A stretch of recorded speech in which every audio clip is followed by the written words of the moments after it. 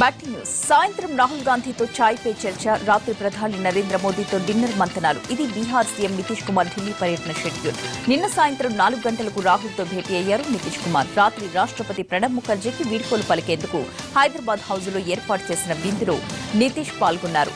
బీహార్లో అధికార సంకీర్ణ కూటమి భాగస్వామ్య పక్షాలైన నితీష్ కుమార్ జేడీయూ లాలు ఆర్జేడీ మధ్య విభేదాలు తారస్థాయికి చేరిన సమయంలో ఈ పర్యటన ప్రాధాన్యత సంతరించుకుంది.